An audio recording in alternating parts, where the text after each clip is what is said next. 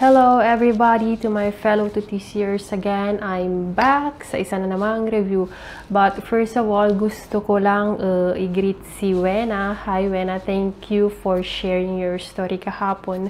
Uh, maganda yung feeling na napapakinggan mo din yung isang uh, story na katulad din sa'yo. So, uh, thank you for watching to my videos and keep updated. Okay? So, uh, this video uh, is about the Bois Meramix, okay? So, uh, today is my cycle day 26, 10 days past ovulation. Kaninang umaga guys, nag-test ako, uh, it was negative, so um, magte-test ako ulit. Tignan natin after few days, maybe 3 3 to 4 days before menstruation pero nag-try lang ako kaninang umaga kung positive siya o negative pero negative siya. Wala, wala. Zero. Okay.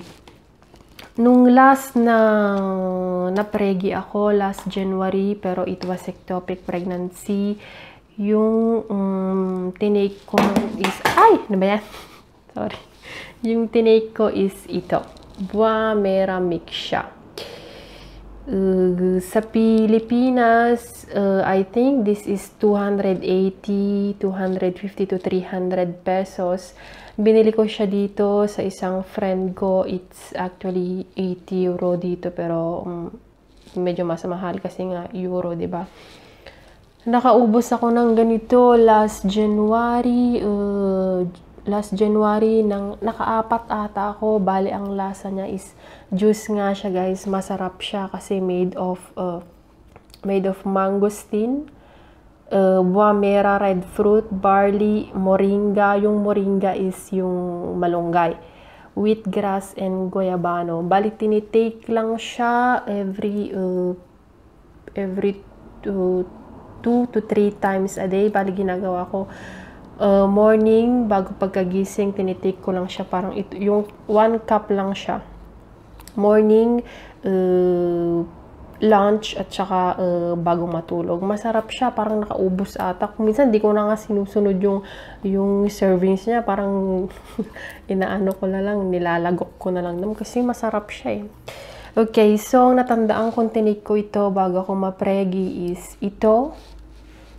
At saka, eh, ito, yung fertile CM, yung nakakapag-fertile ng uh, cervical mucus. Naka, malaking tulong din ito. Pero, hindi ko alam kung ano talaga yung, uh, ano talaga yung um, bagay na nakapagpabuntis sa akin last January.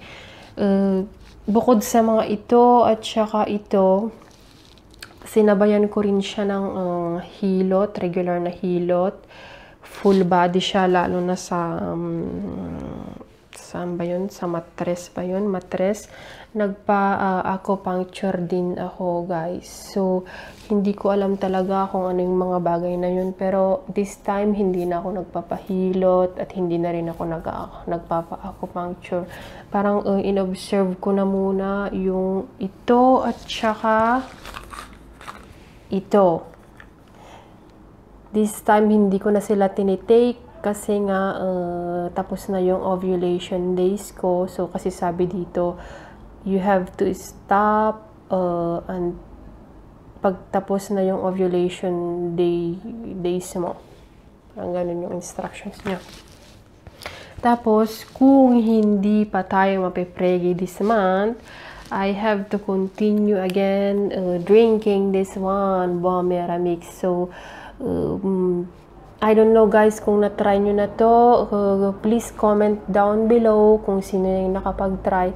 I came across with this one kasi yung asawa ng tito ko, yung kapatid ng asawa ng tito ko, she's married uh, 17 years, 14 to 17 years. Eh ngayon, uminom lang daw siya ng ganito, nakarami din daw siya ng ganito. Bali, uh, after, after nung pag-inom niya na ito, nabuntis siya. Eh ngayon malapit na siyang mga anak. Pero ang totoo pala guys is meron pala siyang mayoma. Pero I think nakatulong, malaking tulong din to sa pagbubuntis niya kasi baka na pinashrink niya yung um, myoma. So, if you wanna try this one, from Essenza siya, Buamera Mix yung pangalan niya guys.